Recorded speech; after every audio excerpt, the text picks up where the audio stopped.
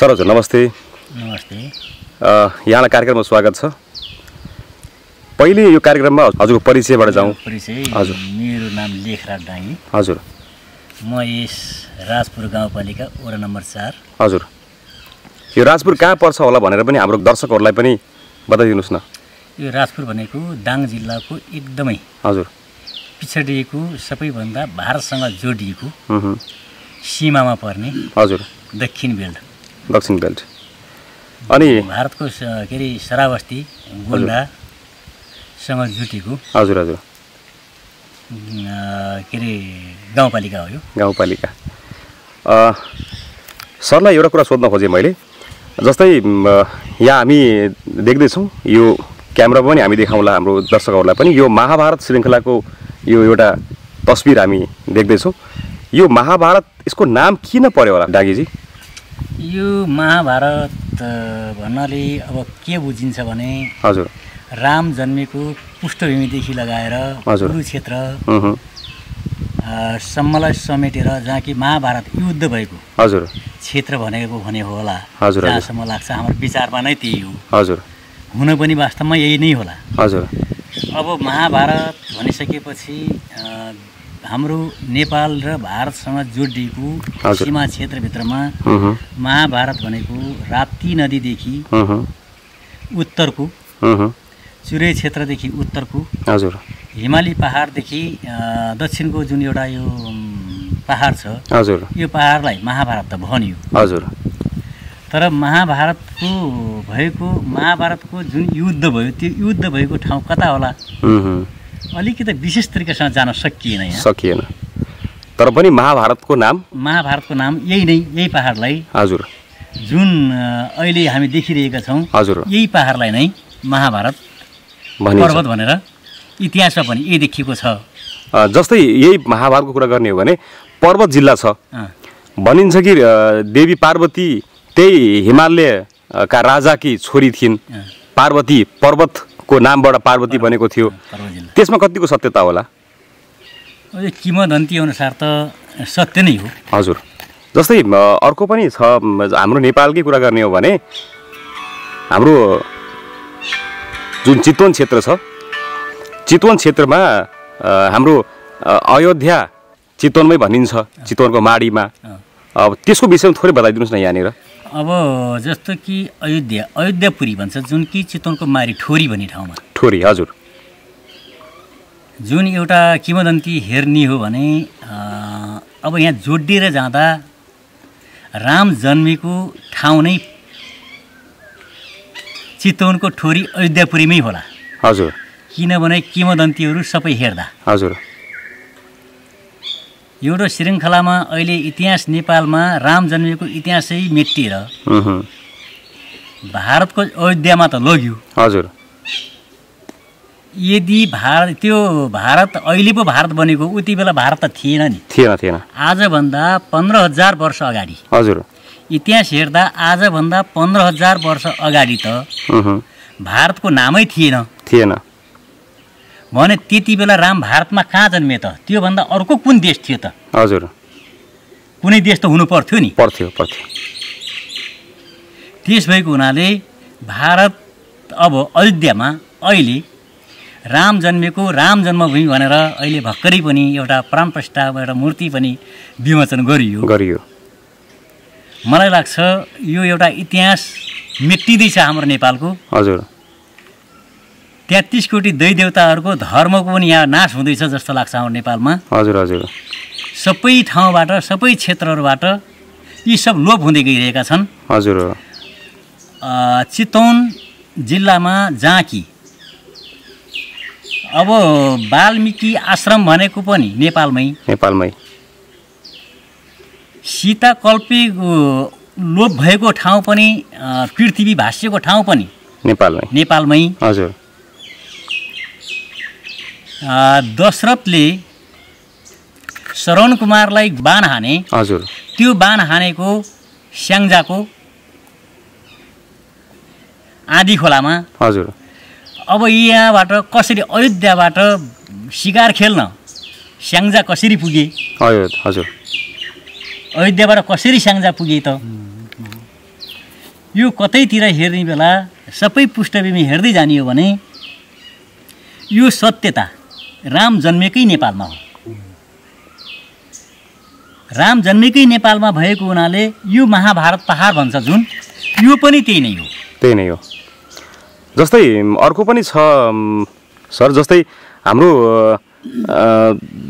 अयोध्या सँगसँगै यो जुन हाम्रो जनकपुरको जनकपुर धाम छ जनकपुर धाम। त्यो पनि नेपालमै छ। त्यो पनि नेपालमै छ। जस्तो कि सीताको। हजुर। माइती। माइती। माइती घर भनौँ न। हजुर हजुर। जनकपुर धाम। हजुर। जानकी मन्दिर भनेको त सीताको त माइती घर हो नि त। माइती घर हो। भने सबै पृष्ठभूमि नेपालमा जुड्दै जाने। हजुर। यहाँ भएका यी श्रृङ्खलाहरू सबै नेपालमै छन्. तर यहाँबाट एउटा व्यापारीकरण भएर अन्यत्र अरू अरू देशमा फिजिए कि यहाँ। अहिले टाढा किन जाउँ भने हामी यहीँ नेपालमा यहीँबाट एउटा सुरुवात गरौँ। भारतले नेपालबाट एउटा शिलाढुङ्गा लगेर गयो। हो। जो कि एउटो शङ्करको नाममा पानी चढाउने अयोध्यामा मसिनो ढुङ्गा छैन। छैन। एक्कासी त्यो ढुङ्गा आँख्नबाट उम्रेको त होइन त। होइन होइन। यो नेपालमा यो इतिहास भुटिदिनको लागि इतिहास लोप गनाइदिनको लागि भारतले यत्रो षड्यन्त्र गरेर लगेर गयो त्यो ढुङ्गा। त्यो पत्थरलाई। हजुर हजुर। अब आउने पछिल्लो डिसेन्जरले जुन भन्छ जुन पछिल्लो जुन पुस्ताले अब केही वर्ष पछाडि आउने जन्मिनेवालाले त त्यो ढुङ्गो त कहाँबाट आयो त यो? हो। राम जन्मेकै यहीँ रहेछ भने त्यो प्रमाणित गरिदिनको लागि चलखेल हो यो। चलखेल गरेको हो। जस्तै अर्को पनि छ। हाम्रो कतिलाई थाहा छ छैन? जस्तै इतिहासकै सबैभन्दा पहिलो जुन एउटा बस्ती थियो त्यो सिन्धु घाटी सभ्यता र सिन्धु घाटीको नाम सिन्ध सिन्ध नदीबाट बनेको र त्यो नदी भनेको हाम्रो मानसरोवरबाट निस्किने नदी हो। त्यो मानसरोवर त पहिले नेपालमै थियो नि। नेपालमै थियो। त्यो चलखेल गरेर त्यो पनि त तिब्बतले लग्यो। त्यो पनि। मानसरोवर भनेको नेपालैबाट गएको छ भने। मानसरोवर भने अहिले उता के हो कुन के कुन जिल्ला भन्छ एउटा कालापानी। कालापानी। हो लिपुले कालापानीबाट मानसरोवरको बाटो भनेर अहिले भारतले जबरजस्त तरिकासँग त्यो मानसरोवर जान लागि ती देवी देवताहरू मानसरोवर जुन तीर्थ गर्न जाने ठाउँ हो। जुन एउटा नेपालको ढुकुटी हो जुन नेपालको एउटा सम्पत्ति हो नि। हजुर हजुर। त्यस्तो सम्पत्तिलाई नष्ट गर्नको लागि भारतले मानसरोवरबाटै सडकको नामै मानसरोवर जाने बाटो। त्यस्तो किसिमसँग उसले त्यो बाटो बनाएको छ। हजुर हजुर। त्यो पनि नेपालकै हो। नेपालकै हो। अब यहाँनिर अर्को पनि चलखेल भारतले खेलेको छ नि जस्तै दार्जिलिङ। दार्जिलिङमा बसेका मानिसहरूलाई हामी नेपाली हो कि इन्डियाको हो कि भन्ने कुराको दोधार छ। भाषाले संस्कृतिले नेपाली हुन्। तर नागरिकता नेपाल इन्डियन छ। नेपाल इन्डियन छ। त्यो कस्तो चलखेल गर्यो होला?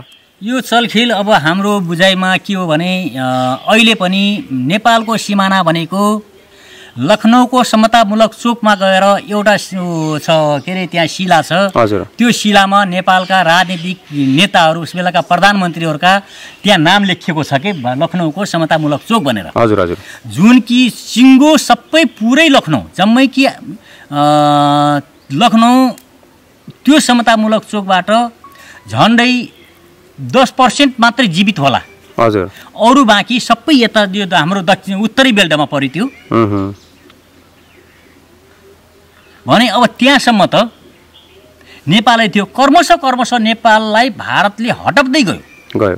हटाउँदै गइसकेको अवस्थामा अहिले पनि हामीहरू हामीहरूले देख्दा देख्दै हजुर। जङ्गी पिलर भन्ने पिलरहरू यो नजिकैमा धेरै टाढा हामी जान नसके तापनि कपिल वस्तुदेखि लगाएर यहाँ बाँके जिल्लाको सुइया बगौरा भन्ने ठाउँसम्म हामी गएका छौँ। हजुर। यसमा जाने बेलाको अवस्था यहाँ मात्र नगएर बर्दियाको। बर्दिया राजापुरसम्म पनि पुगिएको छ। बर्दिया राजापुरसम्मको क्षेत्रमा हेर्ने हो भने वर्षेनी दस मिटर सीमा च्याप्दै च्याप्दै आएको छ। कैयौँ नेपालीहरूका घर अहिले पनि बर्दियामा के देखिन्छ भने उहाँहरूका पूर्जा छन् उहाँहरूका घर छन् ती भारतले हाम्रो जग्गा हो भनेर लखेट्ने व्यवस्था भइरहेको छ। हजुर हो। लखेटिरहेको हामी देखिरहेका छौँ. लखेटेको सुनिरहेका छौँ। तर नेपाल सरकारले त्यो सम्पत्ति त्यो नेपालको भूभाग हाम्रो हो कि होइन? भन्ने उसले अझै पनि यकिन गर्न सकेको अवस्थामा छैन। किनभने पूर्जा छ नेपालको। नापी नक्सामा छ नेपालको जबरजस्त तरिकासँग बर्दियामा पनि अहिले हटाइएको छ। बर्दिया मात्रै कुरा नगरौँ न मेचीदेखि महाकालीसम्म यी के अरे भारतसँग सटेका क्षेत्रहरू त वर्षेनी हटाउँदै गयो नि। हजुर। हटाउँदै गइसकेको अवस्थामा त्यो तपाईँको दार्जिलिङ सिक्किम भन्ने पनि त्यो त्यस्तै अवस्थामा परेर भारतले हटाएकै हो। अहिले टाढा अब तपाईँको टनकपुर वनवासाको कुरा गर्ने हो भने वनवासामा पनि जाऊँ त। पटुको बाँधेका गादो पारेका महिला दिदीबहिनीहरू मोलको टोको बोकेका देखिनुहुन्छ तर त्यो पनि तपाईँको वनवासा भन्ने क्षेत्र पनि भारतले हटाएकै त? महाकाली पारी हो। त्यस्तै दार्जिलिङ पनि त्यस्तै हटाएको हो। अहिले उहाँहरू दोधारमा उहाँहरू कहाँको? भारतले सीमा क्षेत्र मेरो भन्छ। ठिक हो। सीमा क्षेत्रभरि उ भारतको भयो रे। तर उहाँको जनता भएन। उहाँ त्यो नागरिकता पनि दिएको छैन। लडाइँ लडेको त देखिरहेको छौँ नि हामी। ठिक हो। उहाँहरूलाई अब कसरी सरकारले कहाँको कुन देशले? कुन देशको नागरिक हुनुहुन्छ त उहाँहरू? दार्जिलिङ सिक्किमको कहाँ हुनुहुन्छ? वनवासको के अरे तपाईँको उहाँको नागरिकता के अरे नागरिकहरू कहाँको हुनुहुन्छ? अनि गइसक्यो बर्दियामा अहिले जो घेरेर भित्र छिरिसकेको छ अ, झन्डै झन्डै कति चौतिस पैँतिस घर धुरीको तपाईँको खेतमा आएको लगाएको खेतबाली। नै लुटेर लगेको छ भारतको एसपीसम्म आएर लगेर गएको छ। कैयौँ साथीहरू त्यहाँ किसान साथीहरू पिट दिएर रोएको मिडियामा हामी हेरिरहेका छौँ। प्रत्यक्ष पनि गएर देखेका छौँ तर अहिलेसम्म भारतसँग समन्वय नगर्न सकेर अब त्यस्तै गर्दा गर्दै उहाँहरू पनि भोलि के हुन्छ भने अब भारतको सीमामा छ भोलि वडाको कुनै काम पाउला सामाजिक सुरक्षाहरूको कामहरू आउँछन् जस्तो जन्म दर्ता मृत्यु दर्ताहरू काम गर्न पर्ने हुन्छ। त्यो काम गर्ने बेला भारतमा गएर गर्ने कि नेपालमा गएर गर्ने। त्यसको एउटा परिपाटीमा त्यसको व्यवस्थासम्म नेपाल सरकारले पुर्याउन नसकेको अवस्था त्यस्तै भएर दार्जिलिङ पनि त्यसरी हटेको हो। उहाँहरूलाई न भारतले गनेको छ भूभागभरि भारतको भयो रे। हजुर। तर मान्छे भएन। मान्छे कहाँको हो? वेशभूषा भाषा शिक्षा शिक्षा सारा सबै नेपालको। नेपालको। अब उहाँहरूलाई पैसो कहाँको चलाउने त? मुद्रा कहाँको चलाउने भन्ने पनि चिन्ताको विषय भयो। उहाँहरू कहाँ गएर चल्ने त अब? त्यस्तै लिपुले कालापानी पनि त्यही छ लिपुले कालापानी पनि त्यही नै हो। पहिले पहिले त यो हाम्रो नेपालको सिमाना त उता सिमला हिमाचल प्रदेशसम्म थियो भनिन्छ। कु- अरे टेरी गरेर कुमारसँग कुमाउसम्म कता कता भन्छ नि त अब यदि अब। सबै भारतका नामहरू त सबै अब गर्न सक्ने अवस्थामा रहेनौँ। हजुर हजुर। त्यस्तो गर्दाखेरि भोलिको दिनमा नेपाललाई पनि भारतले दाबी गरिदियो भने कस्तो होला?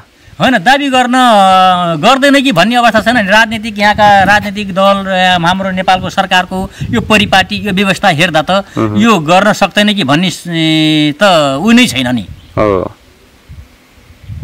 जस्तै अहिले दुई देशको तरुल बिचको तरुल छ नेपाल हाम्रो। चाइनाले पनि दाबी गरेको छ उसको आँखा सगरमाथातिर छ त्यसै गरी भारतको आँखा लुम्बिनीदेखि लिएर अन्य अन्य कुरामा छ। दुईवटा दुईवटाले गर्दाखेरि यो नेपाललाई खतरा छ। कुनै दिन यस्तो पनि आउला कि नेपालकै लागि झगडा गर्दा नेपालैलाई अप्ठ्यारो पर्ला कि भन्ने छ फेरि। हो अब के छ भने जस्तो महाभारतको एउटा अघि नै पनि भन्यौँ। अहिले पनि अब महाभारत भनेको भारतमा कहीँ पनि छैन। महाभारत भनेको के त? त्यो पहाडको नाम हो भने महाभारत भन्ने पहाडको नाम भारतले कहीँनिर पुष्टि गर्न सकेको हुनु पर्यो। हो। नेपालमा भएको चुरे पहाडदेखि उत्तर र हिमाली पहाडदेखि दक्षिणको पहाडलाई महाभारत भन्ने। हजुर। महाभारत भनेर देशको नामलाई महाभारत भन्नेको त होइन नि। ठिक हो। देशको नामलाई महाभारत भन्नेको होइन। हामी भारी बोक्छौँ। अथवा यहाँबाट चार किलोमिटर टाढा दूरी जानु छ यो वैशाखको महिनाको टलटलापुर घाममा छ। हामीलाई कति महाभारत भयो यहाँ आइपुग्न? ठिक हो। एउटा यो पदेता। जस्तो एउटा पाएको नाम मात्रै हो यो। तर वास्तवको महाभारत भनेको यही नै हो। अब भारतले के आँखो लगायो? हजुरले प्रश्न गरेको जस्तै भने अब यो महाभारतलाई पनि आँखा लगाएर त्यहाँसम्म लग्यौँ भने त सबै राम जन्मेको पनि हि सीता जन्मेको पनि हि जति छन् नि यो सबै बनाउन सक्यो नि उसले। ठिक हो। यतातिर गयो। चाइनाले उता आँखा लगाइरहेको छ हिमाललाई। त्यो लगायो भने पनि अब के भयो के रह्यो त? नेपाल रह्यो। रहेन नि। अब बिचमा आएर नेपाल हद्दै रह्यो भने चौधवटा जिल्ला मात्र रहन्छ नेपाल। नेपालको नाम नेपाल बत्नी भनेको जम्मा चौधवटा जिल्लामा मात्र होला सीमित योभन्दा अन्त देख्छौँ। कहीँ देख्दैनौँ हामी? ठिक हो। उत्तरी भाग सबै चाइनाले लग्छ. दक्षिणको भाग महाभारतदेखि लगाएर जस्तो कि लुम्बिनीसम्म आयो भने अब जनकपुर पनि लगिहाल्यो। जब लुम्बिनीलाई पनि आँखा लगाइरहेको छ एउटा के अरे डुप्लिकेट लुम्बिनी गौतम गौतम बुद्ध जन्मेको पनि उहाँ स्थापना गरिसक्यो। यहाँबाट भएका माटाका पालाहरू माटाका भाँडाहरू पनि लगेर उहाँले स्थापित गरिसक्यो। सक्यो। सक्यो नि? अब राम जन्मेको भाना बनाउनको लागि उसले यहाँबाट तपाईँको नेपालबाट दसौँ टनको एउटा ढुङ्गो लगेर त्यो अयोध्याको डाँडोमा लगेर मन्दिरको अगाडिबाट लगेर थन्काइदिएको छ। हजुर हजुर। जहाँ कि एउटा चरो हान्न पऱ्यो भने टिपेर हान्ने ढुङ्गो नभएको ठाउँमा कहाँबाट आयो त त्यो एक्कासी आफ्नोबाट उम्रेको त होइन पानी चारेर जागेको त होइन त्यो। त्यो बिरुवा त होइन त्यो रोपेर गर्ने त्यो त नर्जीवै त त्यो त जीव त होइन। होइन हो। जस्तै अर्को प्रश्न के छ भने यो तिब्बतको मानसरोवर पनि नेपालमा थियो त्यसको अर्थ कैलाश पर्वत पनि नेपालमा। त्यसपछि नेपालमा विभिन्न ऋषिमुनिले तपस्या गरेको ठाउँ। त्यसपछि नेपालमै हाम्रो मनु मनुस्मृतिका ऋषि मनु पनि नेपालका राम जन्मभूमि नेपालको सीता जन नेपालकी त्यसपछि बुद्ध नेपालका नेपालमै भएको वाल्मिकी आश्रम विभिन्न कुराहरूले गर्दाखेरि देवभूमि नेपाल हो भने देवभूमि नेपाललाई हिन्दू राष्ट्र घोषणा गर्नलाई के गाह्रो परेको छ नेपाललाई? यो अब नेपाललाई गाह्रो पर्नु नेपालीलाई गाह्रो पर्नु भन्दा पनि अब जोडिएरै जाने बेला यो साँच्चै भनियो भने हाम्रो सरकारको नेतृत्व गर्ने व्यक्तिहरूलाई नै अप्ठ्यारो परेको हो यो। हजुर। भनेपछि हिन्दू राष्ट्र नेपाल हुँदा ठिक कि नहुँदा ठिक? हिन्दू राष्ट्र नेपाल हुँदा ठिक नि। हिजोको धर्मनिरपेक्षताको कुराहरू गर्दा अब आ फेरि यहाँ जोडिन आउनु पर्ने भयो। हजुर। हिजोको हिन्दू राष्ट्र छँदा। कसैको धर्ममाथि आँच आएको थियो त थिएन त? थिएन थिएन। स्वतन्त्र धर्म थियो। राई लिम्बूहरूले आफ्नो धर्म मान्नुभएको थियो। हिजो पनि क्रिस्चियन हुनुहुन्थ्यो। हिजो पनि मुसलमानहरू हुनुहुन्थ्यो। हर किसिमको जाति हर किसिमको धर्म हर किसिमको वर्ग त थियो त। थियो। धर्म संरक्षण थियो नि। थियो थियो।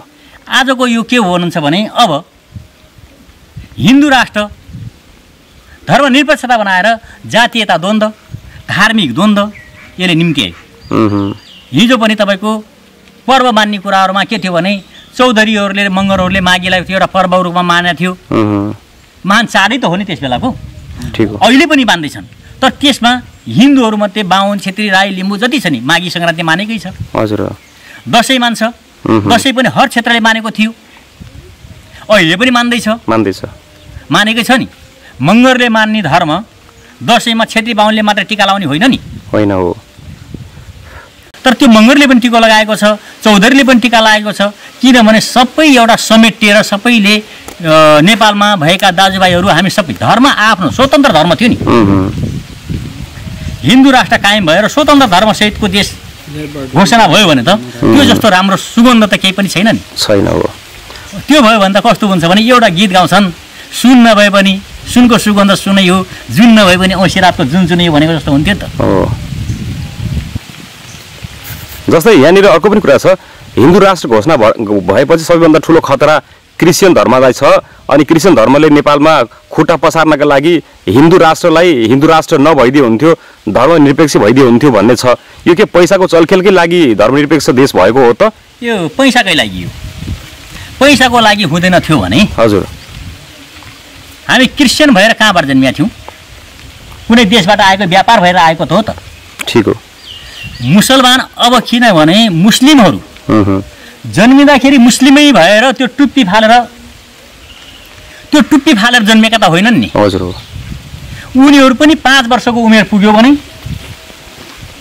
उनीहरूलाई मुस्लिम बनाउनको निम्ति आफ्नो भाइ भैरदारहरूलाई बोलाएर खानपिन गराएर बल्ल उसको आफ्नो कट गरेर उसको हज गरेर उसको टुप्पी काटेर ऊ मुसलमानमा जान्छ। जन्मिँदा त मुसलमानै भएर त जन्मिने के अरे हिन्दू नै भएर जन्मिया हो नि। ठिक हो। मुसलमान भएर जन्मिया त होइन त। पहिल्यै मुसलमान भएर टुप्पी नै कपालै नभएर आएको अथवा अन्यत्र कुनै अङ्ग त्यो काटेर फालेर आएर जन्मिया त होइन। होइन हो। जस्तै अब यो कुरा गर्दै जाँदाखेरि कहीँ न कहीँ देशका युवाहरू अहिले बाहिर छन्। देशका युवा युवाहरू बाहिर हुनुको दुईवटा कुरा फाइदा दुईवटा घाटा पनि यसरी देखिएको छ कि देशका राजनीति गर्ने राजनीतिका केही शक्तिहरूले युवाहरू देशमा नभइदिए देशमा उनीहरूको आफ्नो नियन्त्रण हुन्छ। युवाहरूले बुझ्ने विदेश भएपछि नबुझ्ने मात्र यहाँ भएपछि त आफ्नो मनबस्ती गर्न पाइयो देश बेच्नै पाइयो। अर्को कुरा नोक्सानको कुरा त के छ भन्दा देशका युवाहरू सब बाहिर हुँदाखेरि देशमा एउटा शक्ति भएन। देशमा नयाँ नयाँ उद्योगहरूमा काम गर्ने जनशक्ति भएन। देशको अर्थतन्त्रमा अहिले बाहिरबाट भएको जुन हाम्रो के अरे यो अर्कामाथि भर पर्ने कुरा छ त्यो भर पर्नेमा आत्मनिर्भर हुने पनि हामी हुँदैनौँ कहिले पनि। किन जनशक्ति बाहिर छ हाम्रो त्यो हिसाबले अहिलेको युवाहरूलाई नेपालमा रोक्नका लागि के के कुराले गर्दा साथ सहयोग होला? अब युवाहरूलाई नेपालमै रोक्नको लागि त कल कारखानाहरू उद्योगहरू नयाँ नयाँ किसिमका उद्योगहरू खोल्नु पर्यो। हजुर। यहाँ नेपालमा एउटा उद्योग छैन। पढेका हटपट विद्यालयमा पढेका डिग्री गरेका डक्टरहरू हुनुहुन्छ। उहाँ विदेशमा गएर खाडीमा गएर बेलचा हान्नुभएको छ। अब त्यस्ता अ, सिप मुलकका युवाहरूलाई नेपालमा तपाईँको स्थापित गर्नको निम्ति सबै व्यवस्थापन गर्नु पर्यो त्यो नेपाल सरकारले गरेको छैन त्यो नगर्नुको कारण अब एउटा उदाहरण मैले जस्तो कि स्वर्णिम वाग्लेलाई दिएँ। सागर ढकाललाई दिएँ। त्यस्ता अनिल झा जस्ता कैयौँ युवाहरू हुनुहुन्छ कैयौँ तपाईँको इन्जिनियर हुनुहुन्छ हाम्रो नेपालका कैयौँ वैज्ञानिक त के एउटा के के पुन रे महावीर पुन। अब उहाँहरू जस्तो मान्छेलाई नेपाल सरकारले एउटा अपमान गरेको छ अपमान गर्नुको अर्थ के हो भने उहाँहरू यो ठाउँमा लगनशील हुनुभयो। रोजगारको बाटाहरू कल कारखाना उद्योगमा खोल्ने भनेर उहाँले टेवा दिन सुरु गर्नुभयो। भने त्योमा त अब नेताहरूलाई त चोट पुग्ने नै भयो। अनि उहाँहरूलाई चलखेल हुने भएन बुझेको नेता भयो भने त उहाँहरूलाई बोल्नबाट रोक्छ। हजुर। गलत बाटोबाट हिँड्नेले गलत बाटोबाट हिँड्यो भनेर उसले त्यो त्यहाँ खबरदारी गर्छ। त्यो खबर यहाँबाट अब तपाईँको मलेसियामा छ दुबईमा छ साउदीमा छ थाइल्यान्डमा छ हङकङमा छ जापानमा छ अमेरिका पुगेका छन्। हर देशमा नेपाली नगएको कहाँ छ र? उहाँ त उतै गइसकेपछि दिनभरिको अब बेलचा हान्ने अर्काको मुलुक आठ घन्टा ड्युटी गर्नेछ। नेपालको सेरोफेरो उहाँहरूलाई कुनै थाहै छैन। कुन घटना घट्यो अहिले एउटा बस दुर्घटना भएर मऱ्यो भने उही फेसबुकमा अहिलेको इन्टरनेटको व्यवस्था भयो आउनाले हेरे पनि देख्ने भयो। कतै सुन्ने कुरो त भएन। त्यो गाडीमा दुर्घटना भयो भने सुन्ने कुरो रहेन। यहाँ कुनै अब आग लाग्यो सुन्ने कुरा भएन। आग लागि आग अग्नि नियन्त्रण कसरी गर्ने भने उहाँहरूसँग विज्ञ छ उहाँहरूसँग ज्ञान छ उहाँसँग विक छ। त्यस्ता किसिमका मान्छेहरूलाई विदेशमा पलायन हुनुहुन्छ उहाँहरू। त्यस्ता मान्छेलाई यहाँ रोक्ने हो भने उहाँहरूलाई व्यवस्थापन गर्न सक्नु पऱ्यो सरकारले व्यवस्थापन गर्न सक्ने स्थिति छैन। गर्न चाहे त किन छैन? सबै छ। यो राजनीति गर्ने भनेर गएका जुन एउटा कार्यकर्ताको रूपमा गएका जनप्रतिनिधिको रूपमा गएका देश हाँक्ने भनेका व्यक्तिहरू जति हुनुहुन्छ उहाँहरूको सरसर्ती गलत छ। युवाहरू यहाँ नेपालमा यस्ता विषय गर्ने अनि गएर तपाईँको कृषिमा ढिवा पुर्याइदिने। कुनै तपाईँको अब कल कारखाना उद्योगहरू त्यस्ता किसिमका प्रशस्त मात्रामा भएपछि नेपालमै आफै यहाँ उत्पादन हुन्थ्यो। जस्तो कि अहिले हेरौँ जाजरकोटमा एउटा के अरे पेट्रोल खानी। हजुर। अहिले पेट्रोल खानी छ। पेट्रोल खानी उत्खनन गर्न त चाइनाको आएको छ त्यहाँ। नेपालको सायद नेप नेपालका नेपालीहरू जम्मा पैँतिसजना छौँ भनेर अस्ति भन्दै हुनुहुन्थ्यो। पैँतिसजना नेपाली छ। चाइनाबाट त्यत्रो टोली आएको छ। पेट्रोल उ गर्न लागेको छ। तर यहाँ नेपाली छैन। नेपाली कस्तो किसिमको नेपाली छ त त्यहाँ भने उही बेल चाहने मात्र चाहिँ विज्ञ त छैन। छ यहाँ विज्ञ भएर विदेशमा पलायन हुनुहुन्छ। अनि जस्तै यो धर्मसँग पनि जोडेर फेरि कुरा गर्दाखेरि युवाहरू छैनन् बोल्ने। जो छन् तिनीहरूको आवाज सुनिँदैन। अहिले राजनीति गर्ने सत्तामा बसेका सत्ता पक्षहरूले पनि यो कुरालाई व्यवस्था गरिराखेका छन्। यसले भविष्यमा यो धर्मप्रति हाम्रो जुन घाटाहरू भइरहेछ हाम्रो नोक्सान भइरहेछन् हाम्रो सम्प सम्पत्ति वा देशका केही कुराहरू बाहिर गइरहेछन् चोरेर। त्यस्तो कुरामा भोलि यो आवाज उठा टाइममा उठेन भने देशलाई त भोलिको भविष्यलाई हामीले के जवाब दिने भन्ने कुरा या उनले के बुझ्ने भन्ने कुरा हो जस्तै राम भारतमै जन्मेका हुन् भनेर पनि भोलि हाम्रो नेपालमा पढाउन बेर छैन। त्यस्तो कुरामा हामीले पनि अब मान्नै पर्ने अवस्था आउँछ अहिलेको युवा शक्ति बाहिर छ। कसले बोलिदिने अ, यस बारेमा? अब यो बडा गम्भीर प्रश्न छ यो। हजुर। युवा शक्ति सबै बाहिर छ। बुझेको पनि बाहिर छ नबुझेको पनि बाहिर छ।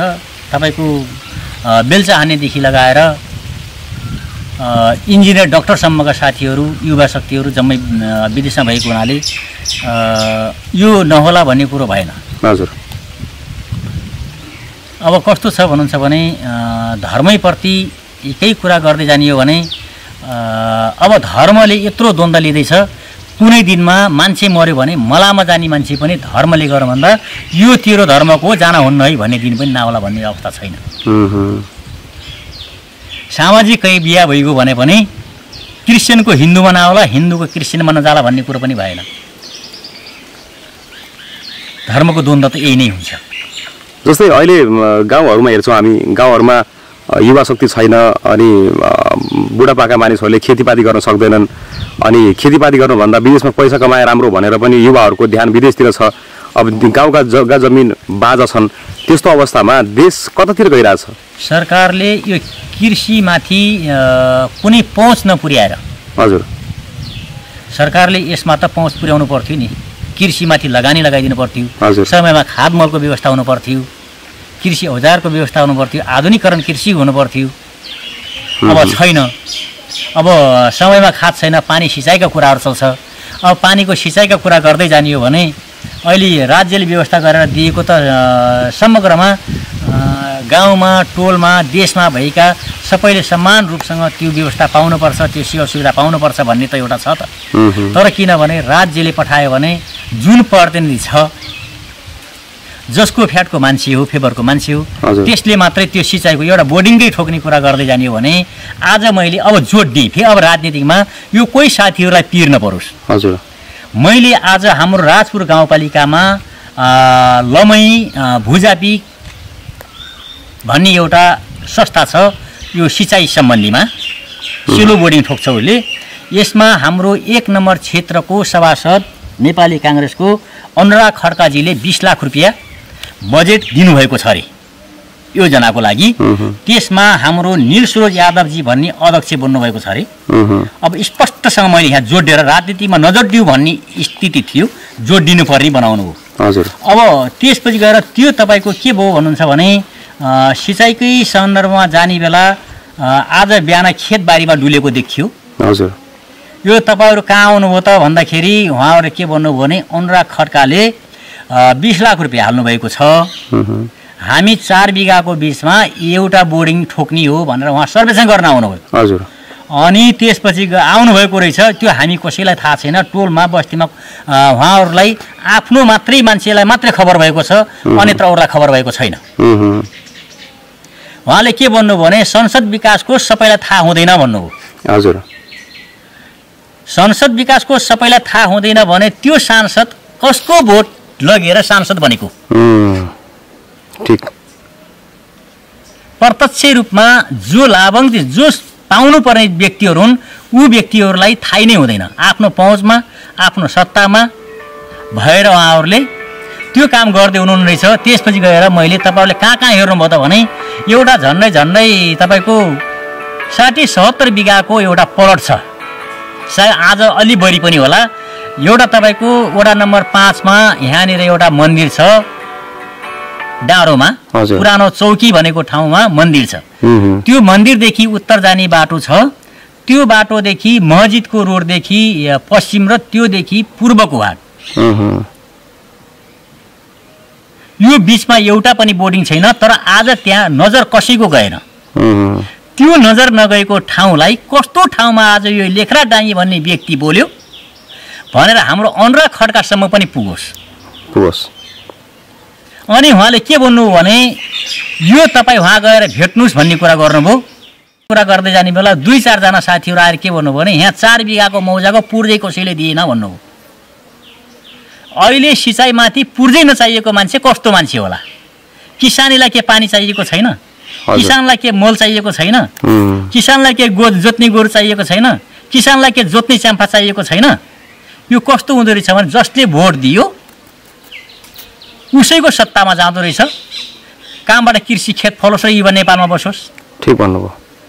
यस्तो अवस्था छ। यस्तो अवस्थासँग छ जस्तै अर्को कुरा जोड्ने हो भने अब अहिलेको युवाहरूलाई हाम्रो संस्कार हाम्रो पहिलेका बुढापाकाले बनाएका नियमहरू थाहा हुँदैन। हाम्रो अब अहिलेको पुस्ताले आफ्ना दुई पुस्ता अगाडिका मानिसहरू चिनिराखेका हुँदैनन्। जस्तै हजुरको काकाको कुनै दाई भाइको छोरा छ भने त्यो पहिलेको जमानामा चिन्न सजिलो हुन्थ्यो अहिले चिन्न सकिँदैन। अहिले को कहाँ छ भन्ने थाहा हुँदैन। जो जोसँग सम्पर्क भइरहेछ उनीहरूसँग सम्पर्कमा छौँ र उनलाई चिन्छौँ बाँकीले चिन्दैनौँ। यो नचिन्ने प्रवृत्ति र अहिलेको नयाँ पुस्ताले यसप्रति चासो नदिएको कारणले गर्दा हाम्रा आफन्तहरू को को छन् कहाँ कहाँ छन् भन्ने कुरा पनि थाहा हुँदैन। यसका लागि युवाहरूमा पनि त केही जागरुकता हुनुपर्छ या पहिलेका मानिसहरूले युवाहरूलाई यो कुराहरूलाई पनि सिकाउनु पर्छ कि भन्ने कुरामा पनि कहीँ न कहीँ कोही चुकेको देखिन्छ। यसमा कसको कहाँनिर चुकेको गल्ती देख्नुहुन्छ हजुर? चुकेको त भयो नि जस्तो कि जुम्लाको जुम्लामा जन्मेको फुबुदेखि आमासम्म जुम्लामा छ।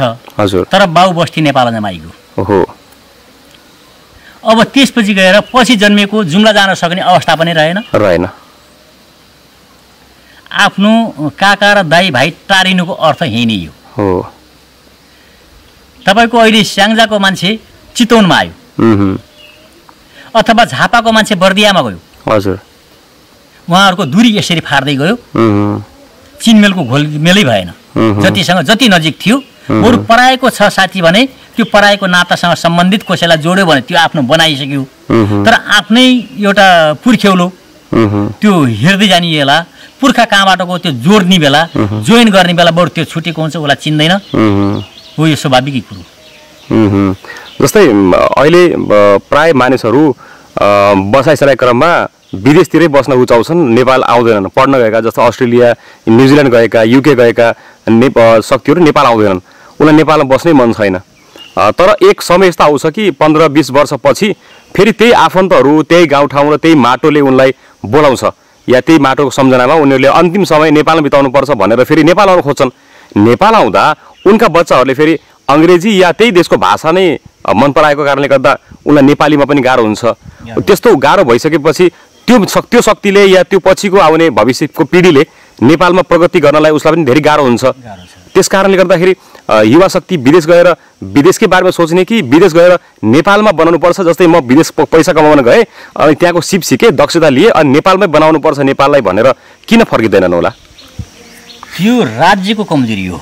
हजुर। उहाँहरूले पैसा कमाएर पनि राज्यले कतैतिर जस्तो कि एउटा महावीर पुनका कुरा जोडौँ। उहाँले कति बिघा जग्गा जोडेर मैले कुन एउटा कारखाना खोल्छु भन्दाखेरि पनि सम्मान दिएन नि राज्यले।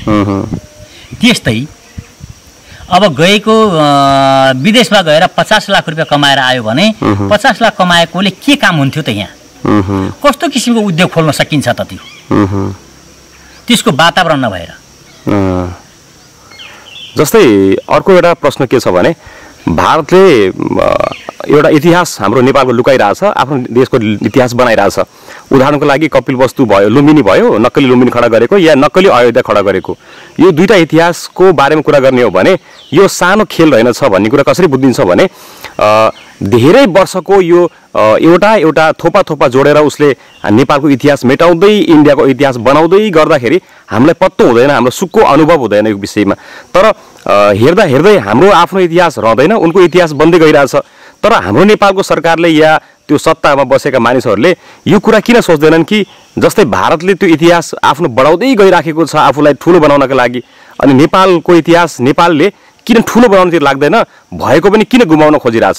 यो भारतलाई यसरी नेपालले सट्टै भारतको अगाडि किन बोल्न सकेन भन्ने कुरा गर्दै जाने हो भने भारतसँग यिनीहरू छिसिक्कै तपाईँको बोल्न सक्ने अवस्थामा छैनन्। यिनीहरूले भ्रष्टाचार गर्न पाउने अवस्था रहेन। भारतसँग बोलियो भने उसले अलिकति त्यस्तै किसिमको नजर हेर्ला नाकाबन्दी गर्ला। उहाँहरूले त्यो त्यो भयो भने अब अर्को किसिमको फटको मार्ने स्थिति आउँछ। उहाँहरूलाई भ्रष्टाचारबाट हलिमहली गर्नु पर्यो नि। त्यस कारणले। त्यस कारणले गर्दा। जस्तै एउटा कुरा प्राय एउटा चिज चलिरहेको छ। नेपालमा एनजिओहरू एकदम बढ्दै गइरहेछन् जो एनजिओको सबैभन्दा ठुलो लक्ष्य भनेको नेपालको आफ्नो संस्कृति मेटाइदिने र उता त्यो देशको संस्कृति बढाउने। जस्तै उदाहरणको लागि एउटा चलेको कुरा अब हामीले प्रमाणहरूकै आधारमा बोल्ने हो त्यसरी बोल्ने होइन। तर जस्तै क्रिस्चियन धर्मका सबैभन्दा ठुलो काम गर्ने एनजिओ आइएनजिओबाट एनजिओ पैसा आउँछ र एनजिओले त्यो पैसा विभिन्न यहाँका जुन संस्थागत मान्छे हुन्छन् तिनीहरूलाई पैसा बाँड्दै धर्मको प्रचार गरेको या प्रचारबाजी गरेको भनिन्छ। तर एक हिसाबले त उसले हाम्रो देशको संस्कृति मेटायो नि। जस्तै उदाहरणको लागि हाम्रो देशमा जुन पीडित वर्ग भनेको नेपालको दलित वर्ग भनिन्छ। दलितमा विभिन्न जात जाति पर्छन् त्यस्ता जातमा पीडित भएका मानिसहरूलाई उनीहरूले आफ्नो टार्गेटलाई पार्छन्। र। त्यस्ता टार्गेटमा पारेका मानिसलाई आफ्नो धर्ममा ल्याउने उनीहरूलाई पैसाको लोभ दिन्छन् कि प्रलोभन दिन्छन् कि गर्दाखेरि उनको त फाइदा भयो। तर यसमा हाम्रो हिन्दू संस्कृति धर्मका मानिसहरू त्यो त्यो धर्म जाने बित्तिकै नेपालीहरूको सङ्ख्यामा पनि अझ धर्मको सङ्ख्या धेरै थोरै भइदिन्छ नि। यसले कसरी बचाउने या यसको रोगको उपा उपचार के गर्ने होला? जस्तो कि एनजिओ आइएनजिओका कुराहरू गर्दै जाने बेला अब जोगीहरू भनेका कस्ता किसिमका जोगी भनेपछि एउटा कर्मको पनि जोगी एउटा धर्मको पनि जोगी। एउटा वास्तवमा गरी खान दुःखले भएको जोगी। हजुर। त्यो जोगी आयो भने खरानीसम्म लगेर जान्छ उसले। त्यस्तै एनजिओ आइएनजिओ भनेका यहाँ जनताको नाममा प्रचार बाँडेर ठुला ठुला नेताहरूले यो ठुला ठुला नेताहरूको उबाट आएर यहाँबाट भएका जति छन् धर्म संस्कृति सब लोप गरेर जाने। नेताहरूले पैसा कमाउने। हजुर।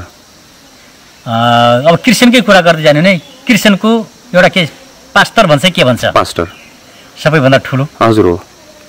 अब उहाँहरूबाट कैयौँ किसिमका सुन्छौँ। अहिले भर्खरै कता सिरातिर धर्मकै नाममा प्रचार गर्दै जाने बेला क्रिस्चियनहरूले प्रचार गर्दै जाने बेलाको फेला पारेर हामी समाचार त सुन्यौँ त। पैसै दिन लागेको पनि सुन्यौँ।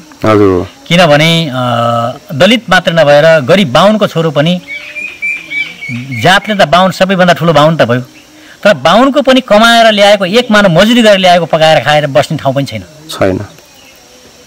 त्यस्ता बाहुनहरूलाई पनि प्रलोभमा पार्ने दलितहरूमा अब हर क्षेत्रमा हर वर्गमा परे जस्तै कि कामी दबाई बादी गायन सार्की भनी यो इत्यादिमा दलितहरू सम्पूर्ण उहाँको भित्र छिरे उहाँहरूलाई मात्र नभएर चौधरीका कुरा गरौँ मङ्गरका कुरा गरौँ जति पछाडि दिएका व्यक्तिहरू हुनुहुन्छ उहाँहरूलाई प्रलोभमा देखाएर अब तपाईँहरूलाई रोग निको हुन्छ तपाईँ बिमारी हुने तपाईँलाई औषधि गर्ने पैसा छैन हाम्रो धर्ममा गएपछि निको हुन्छ होइन? अब तपाईँहरूलाई खाना पुग्दैन हाम्रो धर्ममा गए खाना पुग्छ भन्ने प्रचार त छँदैछ नि। त्यो आइ त्यो प्रचार बार्ने भनेकै एनजिओ आइएनजिओले जस्तो सर्कुलर दियो त्यही सर्कुलरबाट यहाँ चलेको छ यो किनभने यहाँको धर्म संस्कृति नै नष्ट गर्नको निम्ति लागेको। जस्तै यसको उपचार या रोगको निवारणको लागि एउटा यस्तो पनि गर्दै हुँदैन जस्तो यो दलित भन्ने शब्द छ यो शब्द कुनैको जातको आधारले भन्दा कसको आर्थिक अवस्थामा विपन्न छ या गरिब छ या उसको घरमा खाना समस्या छ ऊ पीडित छ भने त्यस्ता पीडितलाई मात्र दलित भनिदियो भने दलित शब्दलाई पनि सम्मान भयो। अनि जातपातमा पनि भेदभाव भएन भने कोही पनि पीडित हुँदैन र जो त्यो मानिस क्रिस्चियन धर्म पनि जाँदैन। किनकि यहाँ धर्महरूले एकअर्कालाई हेप्ने भएकोले गर्दा क्रिस्चियनमा त्यो छैन। क्रिस्चियनमा त सब बराबर छन् भनिन्छ। त्यस कारणले गर्दा कहीँ न कहीँ यो दलित शब्दहरूको परिभाषा बदल्ने समय आइसकेको छ कि जस्तो लाग्छ कि के छ हजुरलाई? अब के हो भने मलाई मेरो विचारमा दलित भनेको जातलाई होला जस्तो लाग्दैन मेरो विचारमा मेरो व्याख्यामा। हजुर हजुर। दलित भनेको जो न्यून न्यून। जुन असहाय छ जसको घरमा खानै पुग्दैन। हजुर हजुर। बाहुनको घरमा खानै पुग्दैन त्यो दलित हो। दलित हो। नेवारको घरमा खाना पुग्दैन दलित हो। दलित हो। मङ्गलको घरमा खाना पुगेन छेत्री बाहुनको घरमा खाना पुगेन त्यो दलित हो। हो। कामी दमाईलाई मात्र दलित भन्ने मेरो विचारमा त्यो दलित होइन। होइन। नपुग्छ त्यही नै दलित हो। हो। जसले जसले यसको यसको परिभाषा नबुझेर जातपातलाई दलित भन्छ भने त्यसको आफ्नो सोचाइमा अलिकति केही परिवर्तन गर्नुपर्छ जस्तो लाग्छ। आजको कुराकानीमा हामीले राम्रो कुराकानी गऱ्यौँ। र पक्कै पनि दर्शकबिन्दहरूलाई पनि यो कुराकानीमा धेरै कुराहरू उहाँहरूले सुन्नुभयो होला बुझ्नुभयो होला। र आगामी श्रृङ्खलाहरूमा पनि हामीले यहाँलाई फेरि पनि जोड्नेछौँ र आजको यस प्रोग्राममा हामीलाई समय दिनुभयो। त्यसका लागि विशेष धन्यवाद व्यक्त गर्न चाहन्छौँ। धन्यवाद।